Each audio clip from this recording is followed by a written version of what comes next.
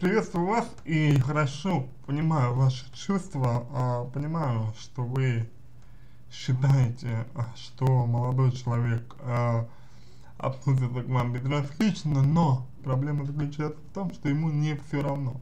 Если бы было все равно, он бы не делал вообще никак.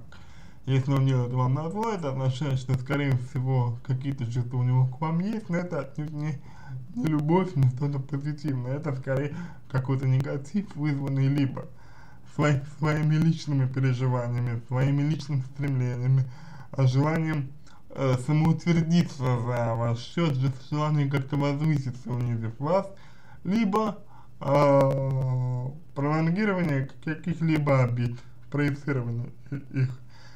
Если первый вариант, то тогда ничего с этим не поделать, с таким человеком нужно просто расставаться, либо мириться с его отношением, потому что вам его не переделать, отношения в смысле.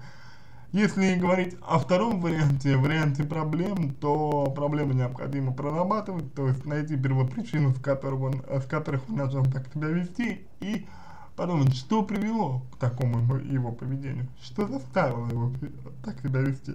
И, соответственно, постараться вот эту причину, эту проблему с ним обговорить. И тогда, возможно, ситуация изменится. Но нельзя говорить о том, что ему на вас все равно.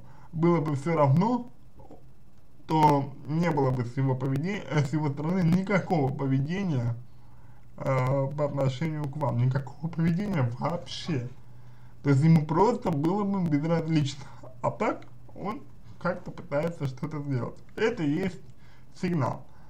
А вот о чем сигнал? Знаете только вы, как партнеры в этих отношениях. Это все. Надеюсь, что помог вам. Если какие-то вопросы остались, обращайтесь в личку, помогу. Если вам понравился мой ответ, пожалуйста, сделайте его лучшим. Буду благодарен.